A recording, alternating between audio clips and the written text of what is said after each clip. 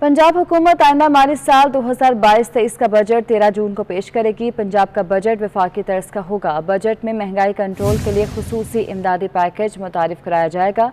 आवाम की कुत खरीद में इजाफा और अशिया खुरनोश की कीमतें कंट्रोल करने के इकदाम होंगे। लोड शेडिंग में कमी के लिए तोानाई के मौसर इस्तेमाल को यकीनी बनाया जाएगा। पंजाब के आइंदा माली साल बजट में कोई नया टैक्स आयद नहीं किया जाएगा। जबकि तालीम, सेहत, ज़रात और मवासलात में कई अहम इकदाम उठाए जाएँगे। हुकूमती जराए का कहना है कि बजट मुतवाजन और आवाम दोस्त बजट होगा, जिसमें सरकारी मुलाजमी और दिहाड़ीदार तबके के लिए खुशखबरियाँ होंगी।